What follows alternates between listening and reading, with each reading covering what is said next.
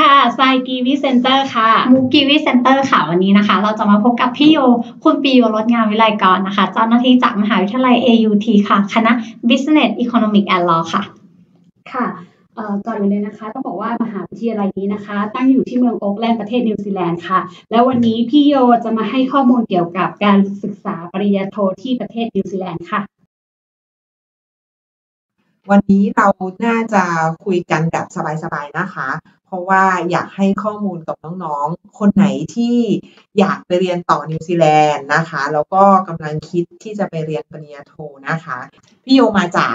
คณะ Business Economic and Law ของมหาวิทยาลัย AUT ที่ตั้งอยู่ที่เมืองโอ๊กแลนด์นะคะ เราคุยกันถึงเรื่องเมืองก่อน พี่ชายเคยไปโอ๊กแลนด์กี่รอบแล้วคะก็ หลายรอบแล้วค่ะชอบไหมคะเมืองนี้เออชอบชอบนะคะพี่โยค่ะ แล้วก็ตอนนั้นที่พี่สายไปเรียนที่นิวซีแลนด์นะคะ ก็น้องๆหลายๆคนอาจจะไม่รู้ว่าจริงๆแล้วพี่สายเคยไปเรียนที่นิวซีแลนด์ด้วย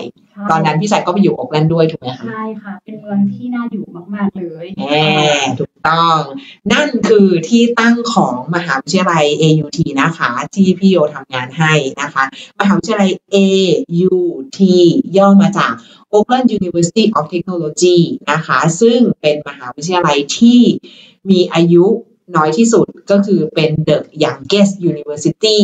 ของประเทศนิวซีแลนด์ในปัจจุบัน หมายถึงว่าความล้ำสมัยนะคะ เทคโนโลยีที่ก้าวหน้า รวมถึงวิทยาการใหม่ๆ ก็ต้องยกให้ AUT นั่นเองนะคะ แล้วก็วันนี้พี่โยจะมาแนะนำเกี่ยวกับเรื่องของปริญญาโทที่คณะ Faculty of Business Economic and Law หัวข้อของเราวันนี้น่าสนใจไหมคะพี่สาย น่าสนใจมากอ่าค่ะเพราะว่าใช้ข่าวมาว่าที่ AUT อะมีสอนปริญญาโทหลักสูตรแค่ปีเดียวเท่านั้น ถูกต้อง อ่า หลายหลายๆคนก็พอจะทราบอยู่นะคะว่า ปกติถ้าไปเรียนปอโทที่นิวซีแลนด์เราจะใช้เวลาประมาณ 2 ปีกว่าจะจบนะคะ แต่ว่าที่นี่คณะ Business Economic and Law ที่ AUT นะคะ เราใช้เวลาเรียนแค่ปีเดียวค่ะ ใช่ ถูกต้องมีอะไรให้เรียนบ้างของเราเนี่ย เราจะเรียกมันว่า coursework หรือว่า professional master นะคะ หมายถึงน้องๆไม่ต้องเน้นการทำวิจัย ไม่ต้องเน้นเรื่องของการทำวิทยานิพนธ์ค่ะน้องๆ สำหรับใครที่จบปอตรีจากเมืองไทยมาหมาดๆแล้วเจอคำว่าวิทยานิพนธ์เป็นไงคะพี่สายน่ากลัวมากค่ะขนลุกค่ะนะคะ แต่ว่าอันเนี้ยจะเป็น coursework professional master นะคะ มีให้น้องๆเลือกเรียนทั้งหมด 5 แบบนะคะ ประกอบไปด้วย Master of Applied Finance 2. Master of Business Management 3. Master of Global Business 4. Master of Marketing แล้วก็ 5. Master of Professional Accounting นะคะ ในส่วนของตรงนี้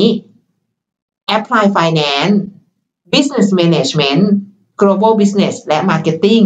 น้องๆ ใช้เวลาเรียนแค่ 1 ปีเท่านั้นก็สามารถที่จะจบได้ถูกต้อง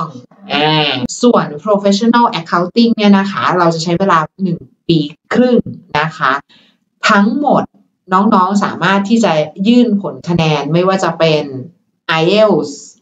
TOEFL นะคะ หรือว่าบางคนถนัดเป็นสอบอ PTE นะคะ ทางคณะก็สามารถที่จะรับพิจารณาผลด้วย รอบต่อไปนะคะ ก็คือเป็นเดือนกุมภาค่ะ จะเป็นช่วงปลายเดือนกุมภาต้นเดือนมีนาปีหน้าค่ะ ซึ่งถึงเวลานั้นสมมุติในกรณีที่ สถานการณ์โควิดดีขึ้นนะคะประเทศนิวซีแลนด์เปิด น้องๆ ก็สามารถที่จะไปเริ่มเรียนตัวเป็นๆแบบนี้ที่โอ๊กแลนด์ได้เลย ไปสูดอากาศบริสุทธิ์ของเมืองโอ๊กแลนด์นะคะ แต่ถ้าตอนนั้นยังคงปิดประเทศอยู่ ก็เหมือนเดิมค่ะน้องๆ เราเริ่มเรียนเป็นออนไลน์ก่อนใช่นะคะ ก็อันนี้เหลือเชื่อแต่มีอยู่จริง เรียนปอโทนิวซีแลนด์ปีเดียวจบ อืม นะคะ น้องคนไหนที่จบไม่ว่าจะเป็นสายครูนะคะ วิศวะ รัฐศาสตร์นะคะ หรืออะไรก็แล้วแต่อ่านิเทศใช่ถูกต้องนะคะเอ่อตัวปริญญาโทที่พี่โยเล่าให้ฟังก็คือตัวที่เป็น coursework professional master ใช้เวลาเรียนหนึ่งปีอันนี้เนี่ยเหมาะสำหรับคนที่ไม่ได้จบ สาย business มาด้วย คือเราเปิดรับน้องๆ ที่ไม่ได้จบสาย business ด้วยนะคะ อย่างในส่วนของที่เป็น global business อันนี้จริงๆ พี่โยแอบเชียร์เอกนี้อืม master ตัวนี้เป็นเป็นเป็นพิเศษ คือเราจะเรียนแบบ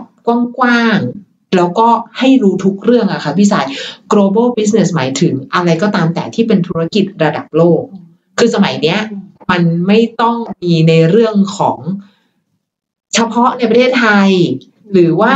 เออแค่ภูมิภาค แต่ว่าอันเนี้ยเราเรียนเรื่อง global business คือเขาเตรียมเราพร้อมมาก หลังจากที่เราแบบจบอันนี้แล้วเราจะทำงานที่นิวซีแลนด์ก็ได้ เราจะทำงานที่เมืองไทยก็ได้ เราจะไปทำงานที่ยุโรปก็ได้ เราจะไปทำงานนิวยอร์กก็ได้ มันคือ global business ค่ะ แล้วอย่างนี้ตอนสมัครต้องมีประสบการณ์ทำงานไหมคะ ไม่ต้องเลยโอ้ค่ะอ่าน้องคนไหนก็ตามนะคะ for example เนอะสมมติเด็กชายกีวีค่ะนี่เด็กชายกีวี ตอนนี้เพิ่งจบนิเทศนะคะจากมามกรุงเทพครับอ่าและก็ไม่เคยทำงานมาก่อนเลย อันนี้พี่โอรับเลยนะคะ พี่โอรับเด็กชายกีวีนะคะ แต่ต้องมีคะแนน IELTS ถูกต้องอะแต่ถ้าไม่มีคะแนน i อ l ทำไงคะพี่สาย สามารถติดต่อ Kiwi Centre ได้ค่ะ เราจะให้คำแนะนำค่ะ เราได้ติดต่อมี alumni ใช่ค่ะ เป็น alumni ก็คือนักเรียนเก่านะคะ ของคณะพี่โยไว้เรียบร้อยแล้วนะคะ เดี๋ยว อุบไว้ก่อนว่าชื่ออะไร แต่ว่าเป็นน้องสุดหล่อ แล้วก็เรียนจบ master ปีเดียวแบบนี้ละค่ะ มัดมาดเลยค่ะ มัดมาดๆแล้วก็ได้คะแนนดีด้วย แบบจบแบบได้มาแบบเขาเรียกว่า with merit เก่งมากอ่า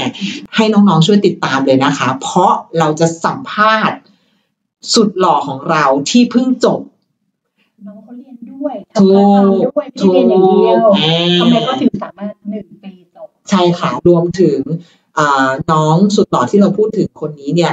ก็ไม่ได้จบสายบิสเนสใช่แล้วก็เริ่มจากไปเรียนภาษาก่อนด้วยอ่าเห็นไหมคะ ตรงใจเป๊ะอย่าลืมต้องติดตามใช่อ่านะคะอ่าคันนี้สำหรับน้องท่านไหนอะพอเราพูดถึงเรื่องของหนึ่งต้องจบสายบิสเนสมาไหมไม่ต้องนะคะสองต้องมีประสบการณ์การทำงานไหมไม่ต้องนะคะ แต่ถ้าในกรณีที่น้องๆไม่มั่นใจ โหพี่ปีหนึ่งมันก็นานอยู่ดี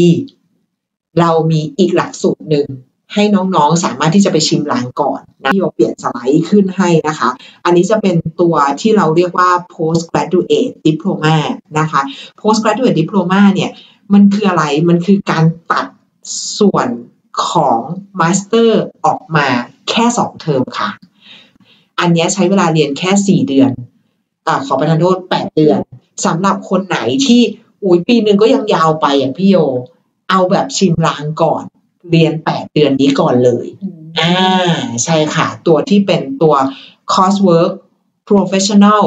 postgraduate diploma แค่8เดือนจบอืมแปดเรียนจบแล้ว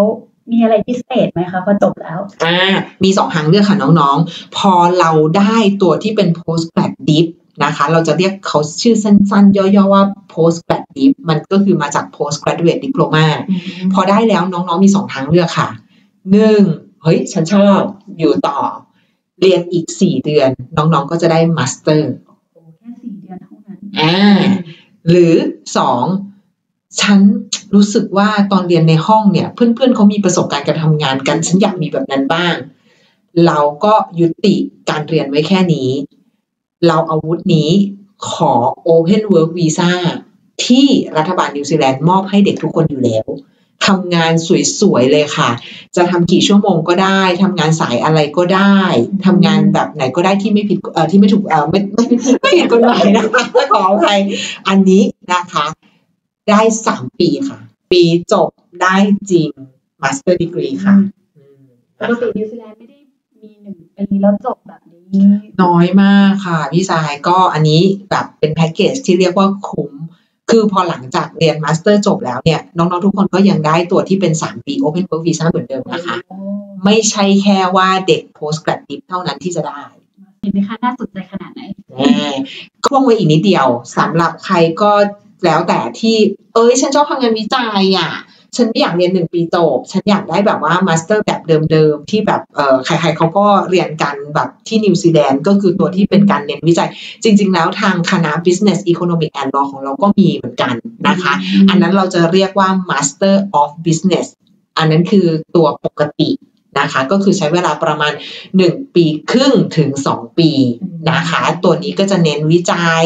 เรื่องเน้นเรื่องการทำวิทยานิพนธ์ทั้งน้องๆคนไหนสนใจแล้วก็ถนัดแนวนั้น เราก็ยังมีเหมือนเดิมสามารถเลือกได้เลยว่าใครถนัดแบบไหนทีสิทธิ์หรือไม่ทีสิทธิ์ถูกต้องอ่านะคะ